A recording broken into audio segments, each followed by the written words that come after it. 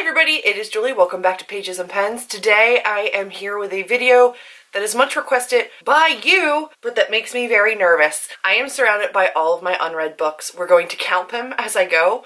I'm going to hold them up, show them to you, tell you a little bit about them if I know anything. A lot of my books I like to go in not knowing anything. Probably not going to get full synopsis, but I will at least let you know the unread books that I have in my collection. I do have a book outlet order coming. I do have more Christmas gifts coming. This is not all of my um, books, or at least it won't be, but there's always going to be something else coming, so I figured there's never going to be a great time to film this where I don't have more coming into my collection.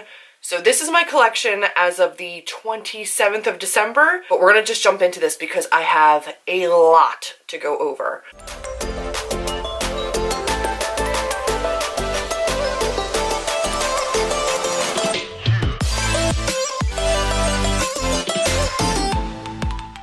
12 stacks like up till just shy of camera. I really couldn't give you an estimate as to how many books are unread. I have the majority of my shelves over on the other side of my room cleared out. Up here, I only had to pull a couple. The majority of these are read. So we're gonna start with what's been like on my desk recently, which is Stephen King's On Writing. I did start reading this, but this is gonna be like an ongoing book. It's not something that I've read all the way and I'm not like rushing to read it. So this is just like his kind of take on writing. No rush to get through that one. Diana Gabaldon's Outlander, which I have all tabbed up. I will be buddy reading this in January, but as of filming this, I have not read this yet. I'm starting this on January 2nd, and I've got like tabs in here for my goals for each day. So this will be read at some point soon. Up off of my shelf above me, behind me, are Brandon Sanderson's Mistborn novel. This is like the second era, so this is The Alloy of Law, Bands of Mourning, Shadows of Self. They're all like way smaller than his normal books. And then I also have Warbreaker, so these are going to go back behind me in this area here. And those are second era Mistborn series, so like Mistborn, but like way later. And then Warbreaker is totally unrelated. Not really sure what that one's about, but I'm pretty sure it's a standalone, at least as of right now. I don't know if it's going to stay a standalone. And then we have I Am the Messenger by Markus Zusak, which I don't know the premise of, and this one was a traveling book, so this one's like over on my bedside table because I want to get to it like sooner than later because I like to keep the traveling books all together that I still haven't read. So this one needs to be read. We're gonna go stack by stack now. So I have The Tribulations of August Barton, which is by Jennifer LeBlanc. I don't know anything about it really. I believe this takes place in college and he has a retired prostitute grandmother, Laurie Halse Anderson. This is on my TBR for Cramathon, so hopefully that's read soon. And then also This Song Will Save Your Life by Lila Sales. Lila Sales? Lila Sales.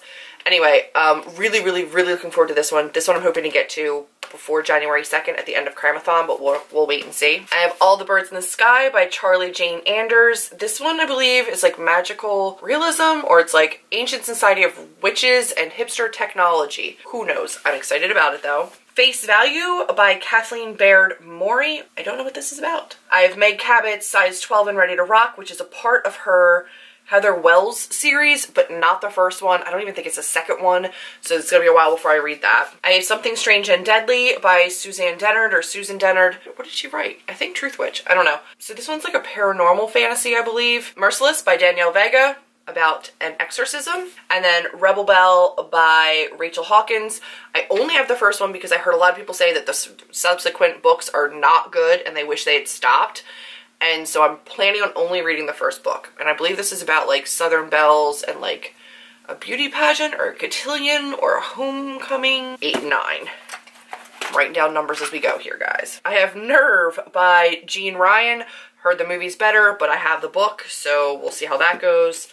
I have Because You'll Never Meet Me by Lee Thomas. Leah Thomas, Lee Thomas. Debut award finalist. I don't know anything about it, but we're gonna read this somebody's allergic to electricity, somebody else has a weak heart that has a pacemaker, so see how that works. Perfect Kind of Trouble by Chelsea Fine, Wrong Kind of Right by Chelsea Fine. I thought I had another one, but I don't, so just these two by Chelsea Fine. They're contemporary adult romances. That's all I know about that. Before I Go to Sleep by S.J. Watson, which I want to get to sooner than later, so I might move this to a different shelf because I really want to get to this. This is like a psychological thriller about a girl who like goes to bed every night doesn't remember when she wakes up in the morning what has happened, and then there's like maybe some foul play. Who knows? I'm interested. The Anatomical Shape of a Heart by Jenn Bennett. I got nothing about this one. It's a contemporary. And then I have Made in Paris, which was sent to me um, by Rebecca Christensen. Not sent to me by her. It was sent to me by the publisher, Sky Sky Horse Publishing or Sky Pony Press. Um, so they sent me this. This is about a girl who goes to Paris with her brother, who I believe is on the autism spectrum, and she kind of like finds first love. Her brother keeps messing stuff up. And then Come Back to Me by Mila Gray, Mila Gray, contemporary. I'm ready for the next contemporary thon, that's all I know. Sarah Dessen's Saint Anything, because a lot of you told me that this is like your favorite book by her, and I've read her other stuff and I didn't love it. So I'm to give this one a chance before I decide if she's for me or not. Another one that I'm like really not a huge fan of is Kasie West, but I got this one on Book Outlet as well, The Distance Between Us. So we'll see what I think about this one. I know there'll be quick reads for contemporaries, so I'll give them a try at some point. So that's four, six, eight, ten. Then from up behind me, I have The Bane Chronicles by Cassandra Clare, this, oh, and Sarah Rees Brennan and Maureen Johnson. So this is um, short stories about Magnus Bane. Big fan of him, so I'm excited about that. Also, The Beauty of Darkness. I could technically count The Heart of Betrayal because I'm only like 200 pages into that book, but this is the third book of the Remnant Chronicles. Have not read it yet, need to finish it. Also, Strange the Dreamer by Laini Taylor because I have to get to this. I love her writing so, so much, and I don't know anything about this. That's kind of how I want to go into this one, so brings me to 30 books, but I'm going to put these in a separate pile because I have to go back up on these shelves. It's a traveling book, so this is like all annotated inside. This is the first time she's around by Kerry Kelt Kletter. Kerry Clutter, maybe. This one is about a girl who I believe is in a psych ward and then gets out. There's a lot of drama. I know two of the women that read this DNF'd it. The other one, I believe, finished it two finished it, two DNF'd maybe. Adrian read it, Jessica and Christina DNF'd it. I don't remember if Amanda DNF'd it or not, but I know this was a rough one for them to get through, but I'm excited about it. Little in Line by Brandy Colbert, which I know is one of Chelsea from Chelsea Dolling Reads' favorite. So I'm excited to get to this one. I'm to buddy read this with Taylor and Amanda. I have Foolish Hearts by Emma Mills. Actually, one of the books that I just got in my recent book outlet order is her second her first book by her. I forget what it's called now, but I got that, so that will be coming as well. This one is the Owlcrate exclusive cover, and I'm excited to, excited to give this one a read, but I really don't know very much about it, and that's kind of how I want it to be, so I don't know really very much about that one. Dream a Little Dream by Kirsten Geyer. Kirsten Geyer? I don't know. This is the Silver Trilogy. I got this one from Book Outlet. It's the only one that I have. I will probably read this, decide if I like it or not, and then probably get the rest from the library. I don't think this is going to end up being one that I need to have on my shelf. Definitely a book outlet buy, but we'll see how it goes. Conversion by Katherine Howe. This, I think, is a scary one. Pretty sure this is a thriller. So we'll see. This might be an October read. Marie Lu's Legend. I have not read the Legend trilogy. I've read her Elite, Young Elite series um, but I really liked her writing, so I wanted to read this series, and I've just been picking these up when I find them on Book Outlet, so I want to give this one a read and see what I think. Then I have a trilogy. I have Sabriel by Garth Nix, Abhorsen by Garth Nix, which I think is, this is like the Abhorsen trilogy, and then Lirael by Garth Nix. Um, I don't think it's just a trilogy anymore. I know there's more books than this, but I have those three, and we'll see what I think of them. And then I bought Queen of the Tearling, which I think I regret. I'm going to read this and see what I think, but I don't think I'm going to love it, but we're going to wait and see. This is by Erika Johansen, so 40 bucks. I did have this split up between like contemporary and fantasy. I think that's all gone to the wayside. Station 11, and this is by Emily St. John Mandel. This is a read that I'd like to get to, hopefully, in January. This is like my January TBR stack. Mud Vein by Tarryn Fisher, which I believe I'm going to try to buddy read with Chelsea from Chelsea Dolling Reads. All I know is that it's a dark contemporary. I got The Ghost Writer by Alessandra Torre from Amber for Christmas, and I cannot wait to get to this. I've read her Girl in 6E trilogy, and that's it. I really want to read more by her, and I've heard good things about this. Then I have a book that I got at the Strand, which is Kim Harrison's The Turn, which is the Hollows series that you guys know I talk about all the time. This is a prequel to her entire series that comes before all those books happen and it's but it's her most recent one in the series I believe. So I'm going to read this one soon as well. And then I have Best Kind of Broken by Chelsea Fine which is the third of that trilogy that I had from before. So I'm to throw that over there with that one. Then I have Tiny Pretty Things which I believe is about ballet. I think it's a little bit darker. This is Sona Chaparati Chapar Chapar what? Sonia? Sona Sharapotra and Dhonielle Clayton. Holy crap. I am so sorry. Um, don't know much about that. That's a book outlet. Also, 13 Little Envelopes by Maureen Johnson. Don't know anything about this one. I do. I mean, there's 13 envelopes. I think her grandmother dies and leaves her notes or something, or great aunt. Since You've Been Gone by Morgan Matson. Still haven't read it because the only thing I've read by her so far is The Unexpected Everything, and I hated it. I've heard good things about this, like better things about this, so I am going to read it, but I'm really in no rush. The Secrets We Keep by Trisha Leaver. This one is about twins, and I believe they get in a car accident. One dies, one lives, but the one that lives lies and says that she's the other one. The Names They Gave Us by Emery Lord, which is about a summer camp and then the things that happen there. I've heard amazing things about this book. I want to read this soon. Bad Romance by Heather Demetrios. This one was gifted to me and I don't know too much about it. Kind of want to keep it that way. I've heard that it's about abuse, an abusive relationship, but more emotional mental abuse instead of physical. I'm excited to see the take on that. And then I have Gabrielle Zevin's Young Lady Jane. Young Jane Young. I'm thinking about Lady Jane. So Young Jane Young is like a Monica Lewinsky retelling-ish about what happens to women after the scandal and how like so unfairly the women have to kind of live with this over and over and over again, but the men kind of move on with their lives. Chelsea from Chelsea Dolling Reads really, really loved this one, so I want to get to this one sooner than later. 52 books. Become Your Own Bliss by Become Your Own Bliss by Veronica Cayugan. This is a an in real life friend of mine, a former business partner of mine, and this is the book that she wrote. It's just about finding finding your bliss and finding your passion and following your passion. I want to read this soon. Have not gotten to it yet. Also, Laurell K. Hamilton, who wrote the Anita Blake Vampire Hunter series. This is her other series that follows Fae. I read the first book. This is book two, A Caress of Twilight. I have not gotten to this yet. I really, really want to. Cruel Beauty by Rosamund Hodge. I've since heard negative things about this author, but I'm still really excited about the book. It is a Beauty and the Beast retelling. Stoked on it. Bummed out that the author had to put her foot in her mouth, but I'm still excited for the book. Then we have the Everneath trilogy. This is by Brodi Ashton, and this one is I don't know if it's like a Persephone retelling, but it's like a paranormal romancy type of a deal. And you have Everneath, Evertrue, Everbound. Excited to get to these. Again, who knows when. The Rest of Us Just Live Here by Patrick Ness, which is about the non-chosen ones, like the Harry Potter sidekicks, essentially. It's about all the people in the stories that aren't the main heroes and what they kind of go through. And then I have Lesley Livingston's The Valiant, which is about a female gladiator. Super stoked on this one. Have heard good things, just have not gotten to it yet. Scythe by Neal Shusterman about a world where death is no longer a part of our lives and so these scythes go around and they kill people.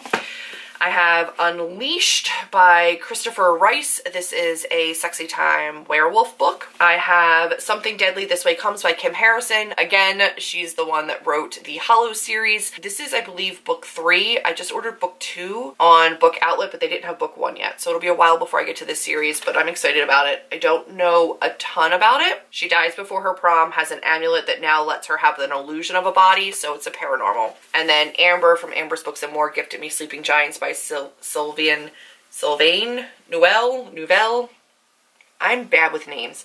This is so much smaller than I thought it was going to be, but I really want to get to this trilogy. I know Trina loves this as well, and I really do want to read these books, so hopefully soon. I still have so many more. Sarah Dessen's Dreamland. Have heard decent things about this. Not a fan of Sarah Dessen, but I'm going to give it a try. I have Come As You Are. To Stay Alive, Don't Come As You Are. I don't know. It's by Amy J. Fetzer.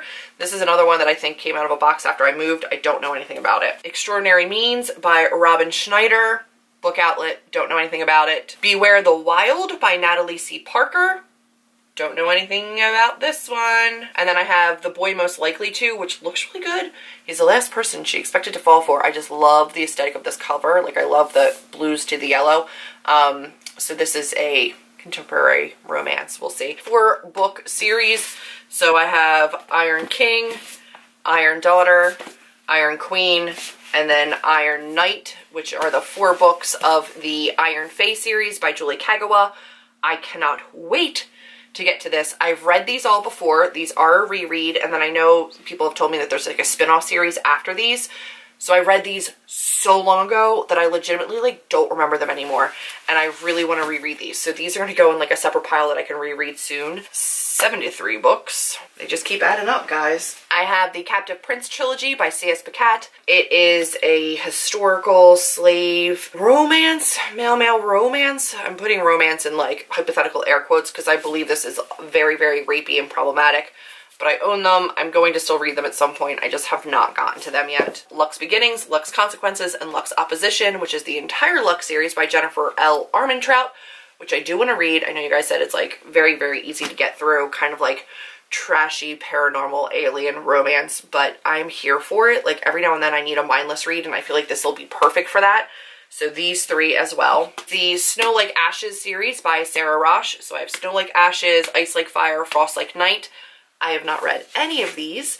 I've heard decent things. Eventually I would like to get to them. I just don't know when that's going to happen. Two books in the Cahill Witch trilogy. I read the first one, Born Wicked, so I have Sister's Fate and also Star Cursed. Books two and three. This one's two, this one's three. Just have not gotten to them yet. Did not love the first one. I might try the second one but I honestly don't know if this is going to be one that I continue with or if I just DNF and get rid of it. It just wasn't what I wanted it to be, so we'll have to wait and see. Whispers at Moonrise by CC Hunter. This is like the last, I think, or at least what I read up to in the Shadowfall series. Um, I read up to this book. I haven't read this one yet, so I figured I'll try that one.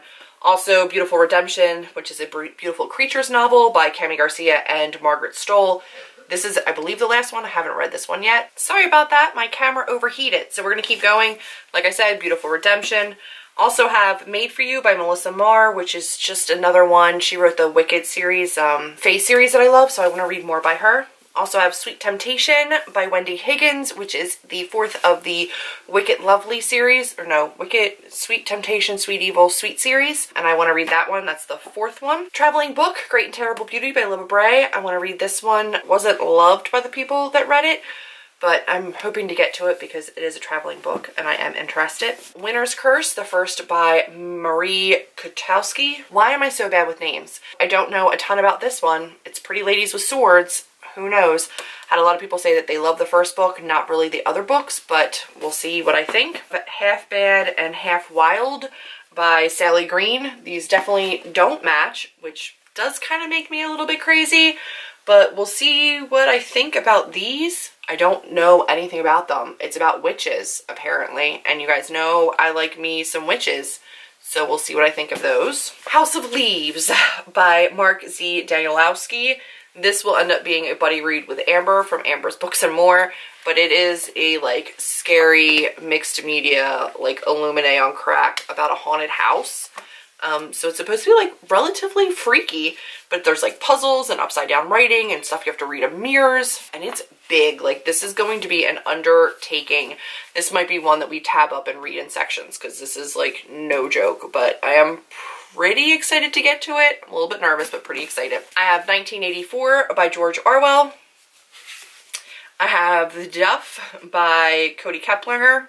Did I mention I Love You, which was from Dylan, from Dylan the Reader 5. This is by Estelle Maskame and I've heard really good things, so I'm going to put this in my, like, read quicker pile. I have The Witch's Daughter by Paula Brackston, Rebel of the Sands by Alan Hammer Hamilton, Lauren F. Winner, Wearing God. This was a regift from my uncle who actually, like, had read and annotated this book, so I'm really excited to get to this one. I think it's, like, a modern take on, like, religion, I don't really get into religion, um, but I just love that he annotated it and like read it first, so I really do want to get to that one. Girl of Nightmares by Kendare Which is the second of the Anna Dressed in Blood series. Anna Dressed in Blood is out right now for Traveling Book, but will be coming back to me soon, and then I will read that one and this one. Tuck Whatley, Freedom Fighter Fighter, and this is by Brian Pettis and Brandon Myers. They are uh, friends of mine from my blogging days and, and authors, so they have quite a few books published, and this one they sent to me and like kindly signed and put like lovely messages on the inside for me and I have not gotten to it which I feel very guilty about. I have the Bachman Files by Richard Bachman which is really Stephen King. I'm not going to get rid of this. This was in an unhaul and then you guys told me that this is not published anymore so I'm keeping it but I probably will never read it. 2BH. A Little Princess, and this is by Frances Hodgson Burnett, who also wrote The Secret Garden, which I love. Um, and I have not read this one. This one was sent to me and kindly gifted to me by Shannon, and I really do want to get to this one. I just have not yet, so I need to get to this one. The Luminaries by Eleanor Catton. This one is scary to me. It's really big, but it is like magical. I didn't think it was, and it is. So I'm hoping to still get to this one at some point. I just don't know when. So I don't know how I feel about this one. I'm gonna wait and see. That one might end up in Unhaul. How to Make a Spaceship, A Band of Renegades, An Epic Race, and the Birth of Private Spaceflight by Julian Guthrie. This one was gifted to me by a very, very dear friend with a very sweet message inside, and I trust and value and respect his opinion and his input and his guidance in my life as a business owner and as a person. So this meant a lot to him, and I want to read it because it meant a lot to him, and I want to see what it's all about. So this is definitely still on my TBR. Last stack, guys. I promise, we're getting there. We're getting places. The Hearts We Sold by Emily Lloyd Jones about selling body parts to demons for wishes. Of Fire and Stars by Audrey Coulthurst. This is about a female-female romance, princesses that fall in love. I have The Glass Spare by Lauren DeStefano about a girl who can turn people into gemstones when she touches them. Can you tell they're all my Owlcrate books? The Sandcastle Empire by Kayla Olson. I don't know. This is like a dystopian, I think, post-apocalyptic something. I'm not really sure. Before She Ignites by Jodi Meadows, which I really do want to get to. This one's about dragons and like this cover, this like woman of color on the cover is gorgeous. I also have Timekeeper and Chainbreaker. These are both by Tara Sim. They are like a Victorian steampunk, like time travel through clocks kinds of things. These were sent to me by Sky Pony Press and I really am excited to get to them. This is the first and this is the second, so I'm hoping to get to them soon. And then I have Susan Dennard's Truth Witch, which I am right here. I've tried to read this like four or five times and have not gotten very far any of the times that I have read it. So I am hoping, hoping to actually finish that in 2018, but we will see. So that is officially all of my unread books. However, I know of officially 20 books that are still coming to me, and that is not including some people that just said they were sending gifts and I don't know what they are. I have confirmed 20 books coming to me still, which means that physically right now I have 114 unread books. I have 20 more coming, which means 134 unread books, which is not horrible. However, considering this is my one like main bookshelf, which is all read with the exception of what, like eight books go back onto this one unread. The rest are in a secondary bookshelf. It's not really even a bookshelf. I promise you some of these are going to end up in unhauls because I just can't keep all of these. We will see, but I'm hoping to give some of these a chance this year read them this year. My goal is to still do library hauls, but also make sure that I'm reading from inside my collection and getting some of these like read and moved out and deciding if I want to keep them or not. So you guys asked for my entire unread collection. I figured that's like the one of the best ways to start 2018 is to show you what I'm starting the year not having read and then at the end of the year, maybe we can touch base and I can let you know which ones of these I have read, haven't read, have unhauled, etc. And do that as like a haul check-in. Cross your fingers for me. Um, I will not do that on Instagram again because last time it was just way too much. But these were my 114 books. I hope you guys have enjoyed this video. If you did, be sure to give me a big thumbs up, click subscribe, and I will see all of you in my next video. Bye guys.